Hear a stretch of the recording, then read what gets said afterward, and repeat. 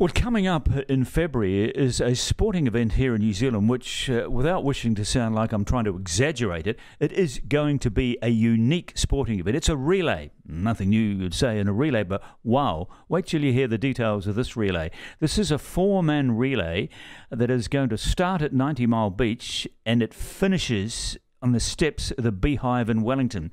And the four people involved in this are all prominent sports people, uh, names that probably people that don't need much, much introduction. Uh, there's Ian Jones, the former All Black lock forward, uh, Mike King, not sure of his sporting CV, but uh, we'll call him a comedian. Uh, Rick Wells, a very prominent, one of the finest triathletes this country has produced. And Richie Barnett, uh, one of the best Kiwis this sport has produced. Former New Zealand Rugby League star, I think he was a full, fullback from memory.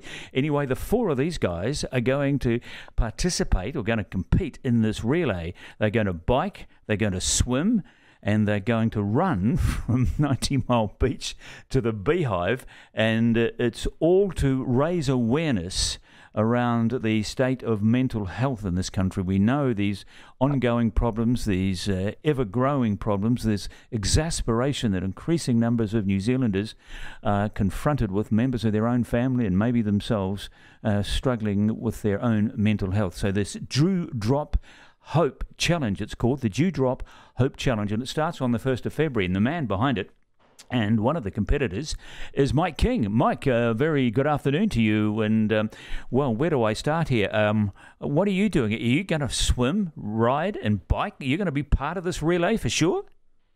Well, yeah, I'm definitely part of the relay. Um, I've affectionately named it From the Lighthouse to the Shite House.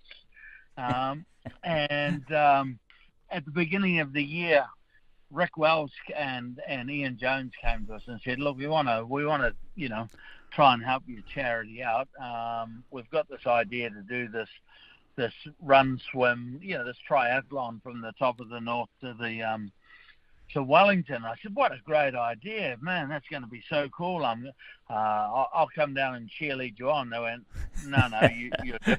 and I was like, and true story, tell. I said, "I can't swim." And uh, uh, that's, that's, that's, a small it's a small problem. yeah, yeah, no, but he had a big smile and went, "I'll teach you." Um, so I started swimming in January this year, having oh, like I could I, I could flutter around in a pool, but I couldn't actually swim.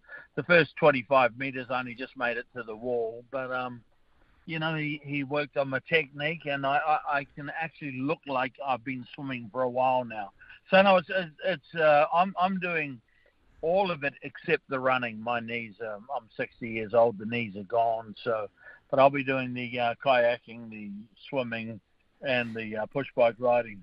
So tell me about the, a bit more about the swimming and where are you going to be swimming? What in the ocean?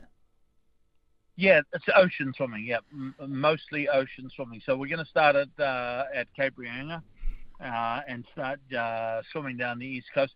I think the, the you know the swims are about three to four kilometres, and there's a lot of um, 100k bike rides, and and then reckon then we'll do the running.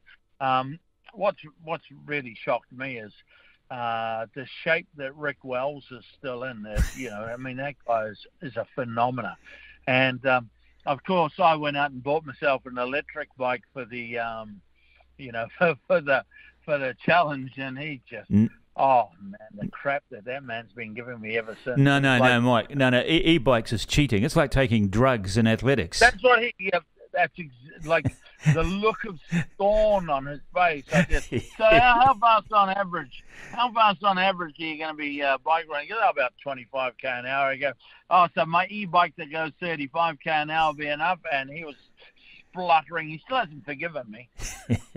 yeah. Uh, so, if with the swimming, so you've you, do you are you going to start from the, the shore, or do you go out beyond the wave line? Uh, so actually, uh, no, we do we do have. Uh, Rick and them will start from the shore, but we do have chase boats or, or jet skis. You know, we're health and safety now. Tell you can't just go out and yeah, yeah, yeah, I can understand you. You better have, better have surgeons on standby. You've got to have helicopters ghosting every step of wow. the way. You've got to have EPIRBs. You've got to have. Oh, you you just have to have everything. Shark repellent. You need shark cages in case you meet a shark. And yeah, it's it's it's, it's pretty intense. Well, it's uh, it could be a fairly costly undertaking, couldn't it? Oh, uh, we've got so many people that are donating their time for free. We've been given trucks to carry the gear around by TR Trucks and Rainus. Um, uh, are doing all of the logistics for us. There's just so so many amazing organisations mm. getting in behind us. So we've got 17 locations. We'll have 17 lots of barbecues, and we're also um, you know meet and greets with communities. My school teams are always also going to be. Um, spending the day wherever we're finishing, I'll be in the schools for that day in that area, spreading the word, letting them know that there is a uh, counselling service out there that is available, giving kids a better understanding of what counselling is about. And counselling is not about fixing kids; it's about giving them tools to help themselves and and turning turning the scariness of counselling from a mental health intervention to it's just a conversation, guys. It's just a conversation. If you're struggling with your emotions, that's a normal part of life, and you have a conversation about it. Yes, I'm just. I was wondering how you were going to integrate the actual relay, the, the, the sporting side of this undertaking, uh, with the need for you to get this message across and reach people who may be suffering and may be wrestling with me- mental health problems. So, uh, just expand on that a little. So, you've got uh, various kind of exercises uh, away from the actual yeah, relay so, that you're going to be doing. Yeah. So, um, my charity, I Am Hope, we. Um, we 80% of, of our of our um, work is based in schools, um, normalising counselling, uh, normalising the biggest problem in mental health today, which is um, it, it's not um, it's not depression, it's not anxiety, it's not bullying or suicide ideation. These are all outcomes. The biggest problem facing young people today is an overactive inner critic those little negative conversations we have with ourselves, self doubts. Um, and for young kids today, I mean, I've spent the last decade going around schools and listening to kids. And um, the biggest problem that our kids have today is they're living in a world where um, every adult's perfect, and every adult's telling them how hard that you know that we worked when we were growing up, and you haven't got any of the luxuries that we uh, we didn't have any of the luxuries that you guys have got now. And why did you get this wrong? You know, your kids come home tell you about five things happened their day, four amazing, one's bad, and all we ever focus on. What do you mean you failed that math test? I told you on Thursday. So our kids are living in a world where they think everyone is perfect Hmm. and they're constantly thinking they're not good enough. So they're beating themselves up, but at the same time, like everybody else, they're putting on a mask of perfection and pretending they've got it together. So we just normalize overthinking. Um, we focus on um, what drives behavior rather than the behavior. Um, you know, why do bullies bully rather than let's just, you know, uh, kick all the bullies into touch. Um, and and normalised counselling. So my team, uh, they'll be they'll be ahead of us. So wherever we are, um, that um, at night. So on day one, I think we're parked in the far north. Uh, as soon as that's over, my team will head down to the next town oh, good. where yeah. we're finishing, yeah. and mm. they'll spend the day in the town. Mm. And generally, my job. and I didn't want to say this out loud, uh, but my job is the hero run. So I wait, like I'll do the first part of the swim or whatever with the team, and then I'll go down to the next town. And as they come into town, I'll join the procession and pretend like I did the whole talk, you know, smile and wave for the cameras, and then I do a talk and uh, to to the local communities and give communities tools about how they can better support our kids.